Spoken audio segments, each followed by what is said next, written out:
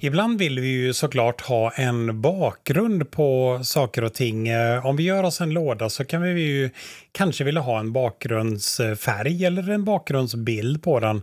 Tänk bara på att när man gör bakgrundsbilder och har eh, texter på bakgrundsbilderna så var noga med att se till att eh, kontrastration är bra för att vi vill inte att, att bakgrunds bilden i många fall, eller bakgrundsfärgen för den delen heller, ska vara någonting som stör, någonting som gör att det blir krångligare att läsa på en sida. Nog om det. Jag tänkte att vi skulle ta och kika lite grann på olika bakgrunder och eh, kanske framförallt på olika bakgrundsbilder, hur vi kan använda det. Vi har sett många gånger att eh, jag gör en låda och eh, den här lådan ger jag en bakgrundsfärg, background color säger jag. på samma sätt som jag kan säga en background color på någonting så kan jag säga background image för att placera en bild som bakgrund. Jag säger background image för att placera en bild som bakgrund. Jag kan med background image välja vilken bild såklart som jag vill använda mig av som bakgrund. Det finns någonting som heter background position och med background position så kan jag välja var någonstans som min bild ska placeras. Om jag har en större container, en större yta än bilden är, så kan jag då berätta hur vill jag att den här bilden ska positioneras. Ska den vara i mitten? Ska den vara längst upp till vänster eller kanske längst ner i mitten? Vad vet jag? Så med hjälp av background position så kan jag då ändra var bilden ska vara. Jag kan använda size för att berätta hur stor ska bilden vara. Ska den vara eh, 50 av eh, objektet den ligger i eller ska den täcka upp hela objektet den ligger i? Hur ska den skalas? Så jag tänkte vi skulle ta och kika på massvis med exempel på hur vi kan hantera bakgrunder här idag. En liten detalj före vi hoppar in på det där skulle dock kunna vara det att eh, jag kan med hjälp av ordet background repeat berätta att en sak ska upprepas. Jag kan berätta att den här ska upprepas i x-led eller y-led eller i båda led. Eh, den kanske inte ska upprepas överhuvudtaget och så vidare och så vidare. Jag kan berätta en attachment, det vill säga var någonstans vill jag att den här ska fästas? Var ska eh, grundpunkten vara för det första elementet om jag vill repetera flera stycken element? Och naturligtvis, som vi har sett tidigare, så kan jag då använda mig även av en background color. Men det har ni sett så många gånger så det vill ni troligen inte se eh, jättemånga fler gånger. Jag tänkte vi tar och eh, hoppar in i lite kod och eh, ser på lite exempel på hur vi kan använda oss av det här med olika bakgrunder på en webbsida. Eh, vi behöver någonting att testa på så jag gör en liten header. Låt oss kalla den, låt oss ge den en class också, den här headen så att vi har det från början. Så, jag vill ha en eh, liten eh, rubrik. Välkommen till min sida. Hoppas ni noterade det. Jag skrev någonting och det blev inte fel. Eh, jag vill ha en liten eh, tagline efter det där och min tagline får vara lite lorem ipsum ord sådär. Så, Eh, nu tycker jag vi är klara med HTML-filen. Som synes har jag länkat in stilmallen så den kommer att funka fint också. Jag reloadar sidan och där är allt som kommer ut. Nu har vi lite grann som vi kan leka med. Jag har en header här uppe i stan och eh, de här sakerna ligger ju inom en header. Jag tänkte vi skulle ta och greja lite med den här sidan. Eh, jag börjar med att göra en mycket enkel eh, CSS-reset. Box sizing, border box, margin 0, padding 0 och det får bli hela min CSS-reset. Inte mycket, men det kommer att räcka. Okej, för min header. Där vill jag börja och kolla på med det här. Hur stor ska headern vara? Jag vill ha en height på min header. 50 viewport height, så får vi använda även det måttet också. Eh, vi kan väl börja med en liten eh, background color på den här. Eh, låt oss säga, så här gör jag ofta, jag bara skriver ett namn på den och därefter går jag in och väljer vilken färg jag vill helt enkelt ha. Mm, vad ska vi dra till med? Kan vi köra HSL-systemet för den tycker jag är rolig. Eh, något åt det där hållet så får vi en, en bra färg där. Så, kan väl spara och eh, titta. Där har vi min sida. Höjden på min sida var 50 viewport height och tittar vi på skärmen så är jajamensan halva skärmen är 50 procent och eh, så stor är den här.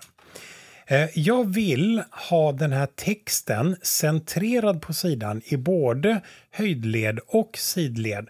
Hur gör vi det då? Ja, vi kan ju säga text align center för att eh, centrera i den ena ledden. Men med hjälp av Flexbox så kan jag centrera saker åt båda hållen. Vi börjar med att säga Justify Content. Justify Content till center. Vad händer då? Jajamensan, där blev allt centrerat. Bra början. Jag kan säga Align Items. Align Items och de ska alignas till center. Vi tittar på vad som händer. Jajamensan, där blir det centrerat i både höjdled och i sidled, men de ska inte ligga på samma rad. Så då kan jag ange det genom att säga Flex Direction Column. Flex Direction finns ju i två varianter. Antingen så kan vi säga Flex Direction Row som gör att saker och kom saker och ting kommer i rader eller Flex Direction Column som gör att det kommer i en kolumn istället. Vi har inom våran header så har vi två prylar, en H1 och en P-tagg. Och eh, om jag vill att de här elementen ska layoutas på det hållet så säger jag helt enkelt Flex Direction Column på de där. Vi reloadar och ser, jajamensan, där kom saker och ting centrerat med Flexbox i mitten i X-led och i mitten i Y-led. Dessutom så kom de här två sakerna under varandra.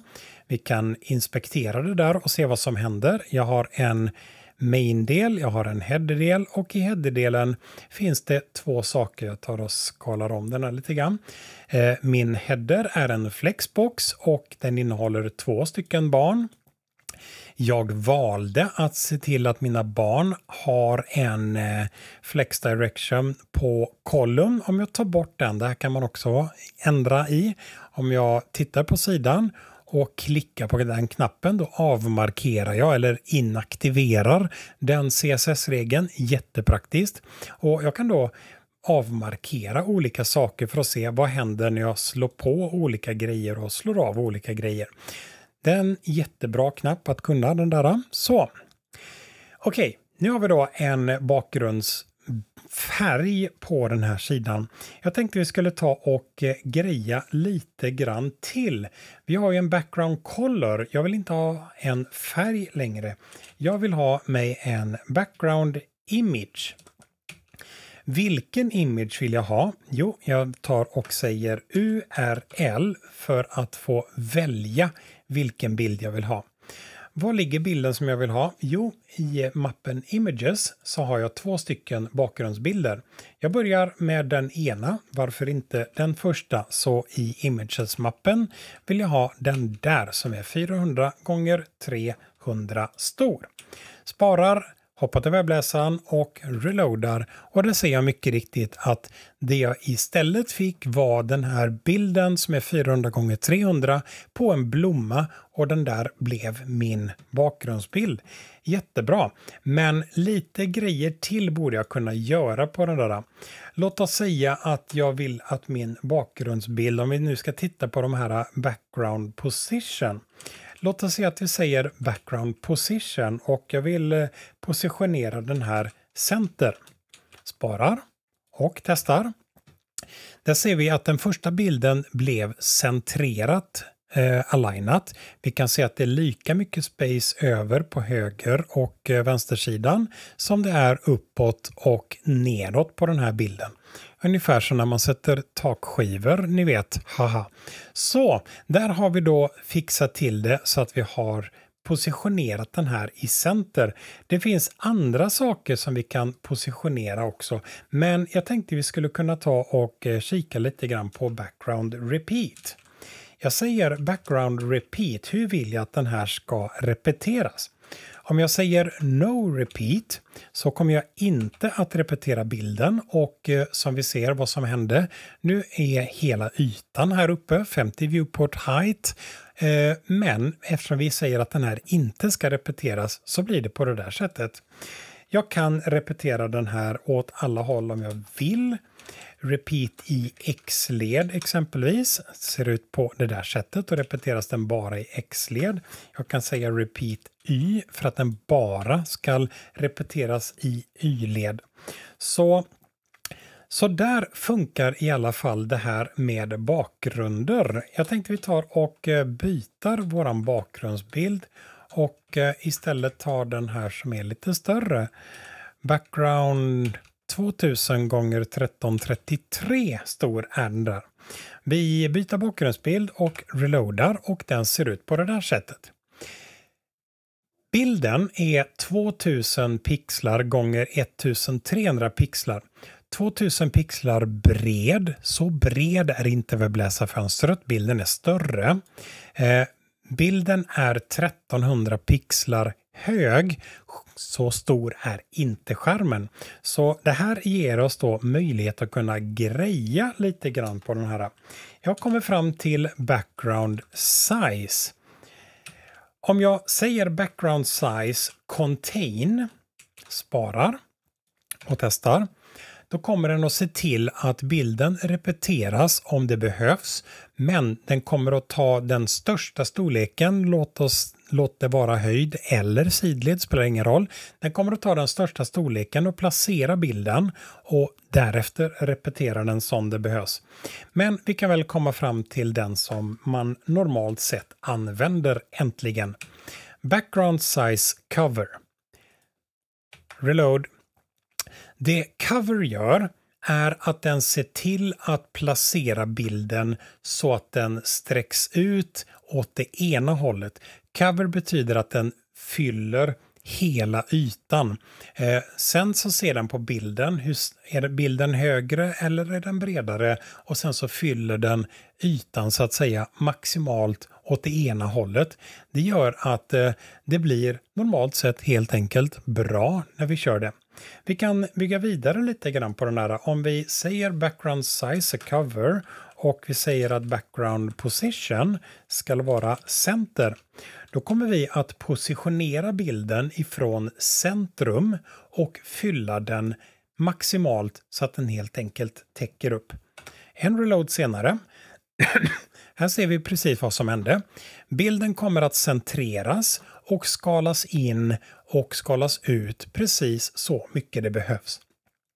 Jag kan ändra storleken på min webbsida och bilden kommer fortfarande att bli bra helt enkelt.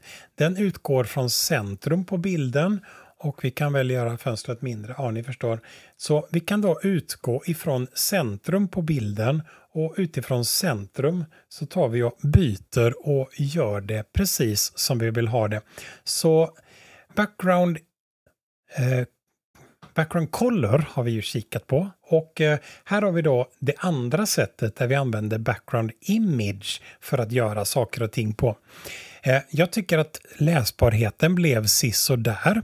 Vi kan alltid högerklicka och säga Inspect Accessibility Properties för att på den här paragrafen exempelvis få reda på vilken har vi.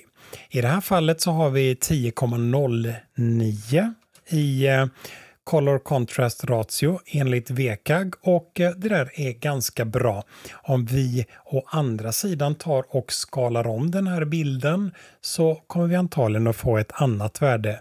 Nu landade texten precis på en ganska ljus bakgrund vilket gör att läsbarheten är okej. Okay. Men Låt oss säga att texten hade varit där uppe mot det mörka. Då hade det blivit värre och hade den varit här borta mot det ljusa hade det blivit lite bättre. Så när du använder bakgrundsbilder, tänk hela tiden på vilken kontrast som du ger mellan text och bakgrundsbild. Rent generellt kan nämnas att eh, bilden på blomman som vi har här är jättebra att ha i exempel, men det är definitivt ingen bra bild att ha som bakgrundsbild på text som man har tänkt att någon ska kunna läsa i alla fall. Eh, vi kommer inte att kunna läsa speciellt mycket om vi har en hemsk bakgrundsbild och en dålig kontrast mellan bakgrund och text. Normalt sett. Oftast så kommer vi till en webbsida för vi, vi vill ta del av information, vi vill läsa något. Det är därför vi gått till en webbsida. Så kontrastration på text är mycket viktig att tänka på. Okej, okay, så där funkar det i alla fall med lite bakgrunder. Så tack för mig så sätter du igång och gör lite övningar på bakgrunden nu. Hej då!